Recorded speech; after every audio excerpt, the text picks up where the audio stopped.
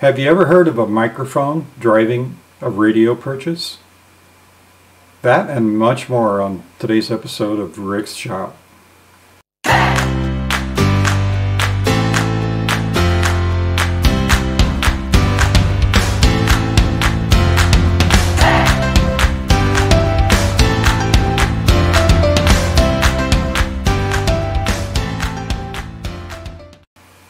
So let me explain myself. Years ago, I was into CB pretty heavy.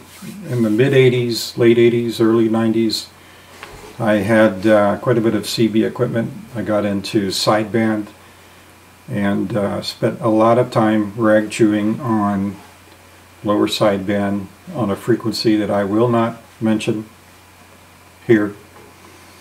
But had a lot of fun. Had a beam up in the air, and had a group of friends that we'd stay up late at night and just chat on the radio and uh, had a pretty big circle of, of uh, ground that we covered too. It was probably, I don't know, probably 75 miles between the farthest station and uh, and my place. So had a lot of fun on, on lower sideband. Anyway, um, spent a lot of time working on my radios. It's, it's basically how I got into the amateur radio hobby is by starting out with CB and I settled on a microphone years ago in the mid 80s that uh, is my go-to microphone and I'll show you that microphone right now what's left of it anyway. So this is my favorite microphone right here. Of course some of you may recognize this. This is a Turner plus 2 SSB and this is the guts of it right here. This is the early version that had the circuit board that goes up in the neck like so. It's actually my favorite version. But this one no longer works. And I think it might be the element that's bad, but I'm not sure. So I did go to a different microphone. When I found out that that one was dead, I purchased this microphone. Since I had a Cobra CB radio, I got a Cobra microphone, and this is this is a great mic. Highly recommend this microphone, Cobra Dynamite. They work very well. Um, it's a dynamic microphone, unlike the Turner Plus 2, which I believe is crystal ceramic. I never did figure out definitively which one of those it is. It's either crystal or ceramic, but I'm not sure which. But they sound very, very similar, which is really strange considering one's a dynamic and one's a ceramic or a crystal. But uh, always wanted to repair one of the numerous plus twos that I had and get that back on the air. It's still my favorite microphone. They're a little bit warmer on air, and uh, I kind of like that especially for sideband, which is kind of tinny to start with. It, it kind of helps you on sideband. So here's some of my more, uh, more of my collection of Turners. Here's, this is a dynamic microphone. No amplifier in it at all. It works, but it has no gain, so I don't use it that much. This is my go-to microphone now. This one is an amplified mic. This is the later style Turner Plus 2 that has the circuit board that's up here attached to the element. And uh, these use a Darlington transistor for amplification and they do have more gain than the older style Turner I found. And that's how I got this one so cheap. I got it at a Hamfest. I think I paid 10 bucks for it. And it was the transistor that was bad. It was also wired wrong. I don't know how this thing ever functioned the way it was wired, but I rewired it first. It still didn't work did some testing and replaced the Darlington transistor on the circuit board and lo and behold it came to life. So this is the one that I use with my Cobra radio that I still have. We'll talk about that in a minute. But I also use this with my current HF radio. And this microphone is what drove me to buy a Yaesu. Because doing research, I couldn't get a definitive answer whether or not you could use an old style CB desk mic on an ICOM. But what I did find out is all the ICOMs, model to model, have different input impedances for microphones.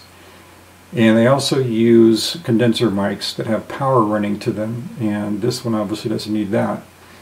So I was unsure whether an ICOM 7300 would work with this old microphone that I have, so that drove my purchase of a Yaesu FT891 because I knew the Yaesus would. I've done enough research and I've heard them on the air. I know that they work with the old school desk mics. The impedance is acceptable and they'll function just fine. And it does. You're going to hear that in just a little bit. And uh, you also hear that old Cobra radio of mine. I still have it. So the subject of today's video is mostly if you're experimenting with microphones, and there's a bazillion of them out there, and you want to choose a microphone for your rig, how do you know if it sounds good or not? Really, I mean, you can you can get on the radio and you can ask for an audio check, but audio checks are very subjective. You know, it, it you know the person on the other end of the radio might say, "Hey, that audio sounds really great," or or it could be worse. Can I get an audio check on this rig? This is KJ7UQY. You sound like you have your underwear and your socks stuffed in your mouth. So, audio reports are very subjective. And everybody wants different types of audio on the radio. I, I prefer more natural sounding audio, warmer tones, more of a rag chew uh, type of audio instead of a DX type of audio, which you'll hear a lot of people say that a DX type of audio is more mid-range and highs and more punchy which is great. I, I understand the need for that when you're trying to, to uh, get over the noise floor, but that's not my preference. My preference is warmer tones and more natural sounding audio. That's why I like the Turner Plus 2 microphones. And um, there's all kinds of microphones out there that will give you similar sound, but I do not want to spend a lot of money on a microphone. Um, there's, you know, a few microphones out there that are quite pricey that sound wonderful on the air. I won't mention names. And if I could buy a radio where I could use the the old Turner that I have, I'm used to that microphone. I really like it. So, how do you get an audio check on the radio that you can believe? I've heard conversations on HF where somebody asks for an audio check and somebody replies, yeah, that's great sounding audio. Yeah, it's nice and punchy, it sounds good, don't change a thing. And I'm listening to the other person thinking, I wouldn't want my audio to sound like that. That sounds horrible. So what's a, subject, a subjective opinion on audio? Well, the only way you're going to get a subjective opinion on audio is if you listen to it yourself.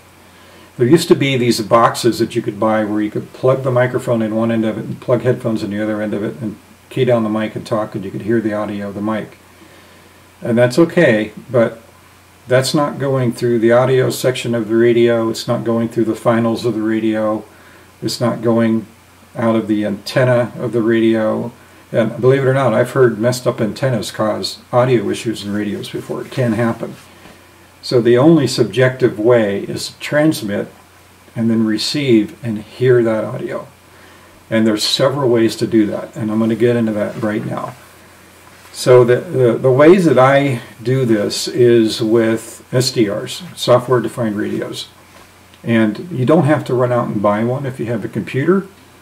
You can go to Kiwi SWR. It's, it's just a service that uh, allows you to pull up a web page, select a radio source somewhere in the world that your radio is able to reach, that you can make contact with, and then you can pull up the audio and actually transmit your radio and the SDR at the other end of that connection will receive that and broadcast it on the internet and you can listen to it that way.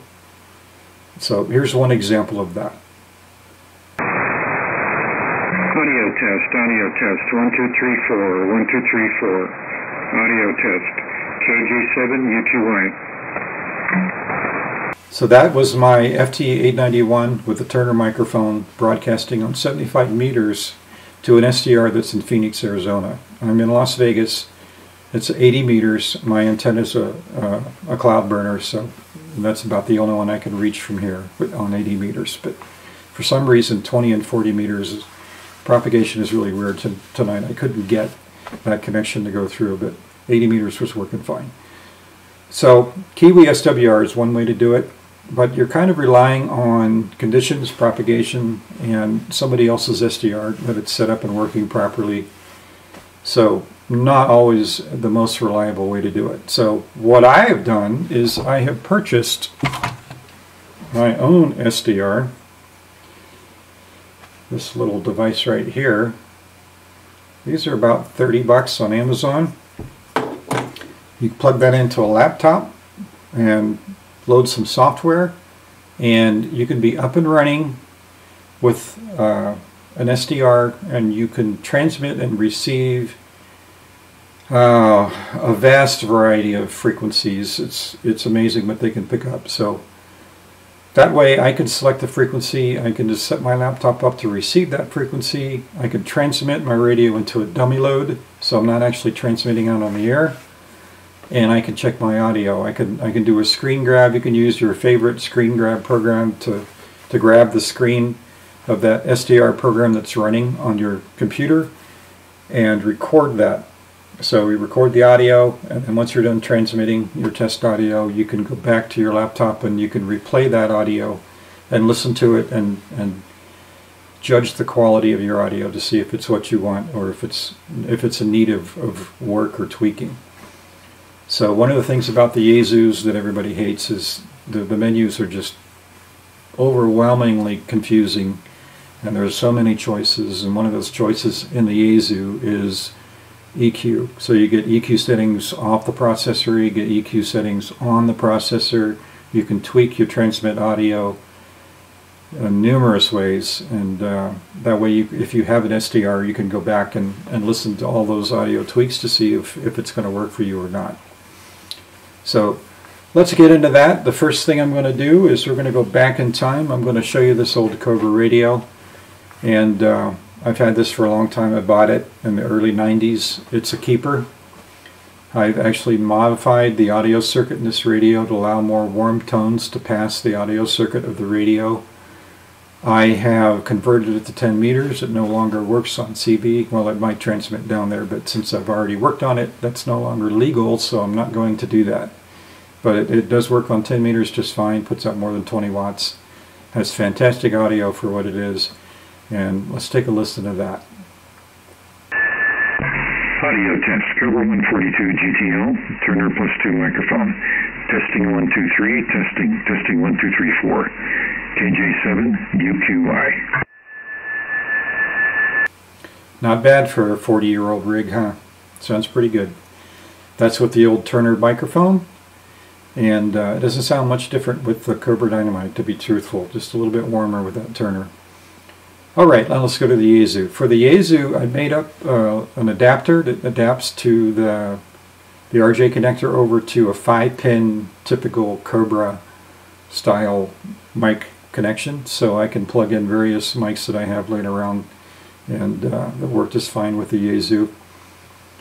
We're going to try the uh, the Cobra Dynamic. Actually, no, we're going to try the Yaesu hand mic, the stock Yaesu hand mic on this this radio. And in order to do that, I need to go back in the menus here real quick and, and change the settings. We need 50% mic gain. We need to drop the power down since I'm going to be transmitting into a dummy load. Excuse me. And I'm going to turn the EQ off for the hand mic. So let's take a listen to that. This is a test of the stock Yaesu hand mic. Yaesu FT891. Stock hand mic, testing 1234, testing 1234, KJ7 UQI. This is a test of the stock Yaesu hand mic on an FT891 radio. Testing 1234, testing 1234, KJ7 UQI. Okay, that was the stock Yaesu hand mic. Now let's move on to the Cobra Dynamite. Once again, Power is down to 20 watts. I'm transmitting into a dummy load. EQ is off. Processor is on for both of these tests, by the way, but it's not on very much. I think it's 20 or 30%, so just enough to, to give it a little bit more uh, punch, I guess. So here we go. Cobra Dynamite, audio test number two. Testing one two three. Testing one two three four. This is a Yaesu FT891 with a Cobra desk mic, KJ7UQI. And now let's move on to the Turner. This is the Turner Plus 2, EQ off, running the Turner into my FT891. Let's give a listen. Audio test. Testing one two three four. Yaesu FT891 with the Turner Plus 2 desk microphone, KJ7UQI. And finally, for the final audio test, we're going to turn the EQ off, or I'm sorry, we're going to turn the EQ on in the Yaesu. And I've got it set up to add a bit of high tones. So let's listen to that and see what it sounds like. Testing one two three four. Testing one two three four. Audio test of a Yaesu FT891 with a Turner Plus 2 microphone. EQ on. KJ7UQI. And there you have it. What do you think about that? So, old, vintage Citizens Band microphones used on a brand new Yaesu radio that's about two years old. And uh, they, they do work just fine. And uh, you have to pay particular attention to the mic gain. The Yaesu does have a very strong front end amplification audio front end for this thing, so I turn it way down. You can see I turned it down to 18, and uh, that's where I can run it and still have a useful volume control on the microphone. But hope that helps. I uh, I hope that gives you a method that you can use to check your audio. Um, Kiwi SWR works fine if you have one local to you. You can just pull that up on your laptop, use your favorite screen grab program, and just record some audio and listen to it and see if it's what you like. Thanks for watching.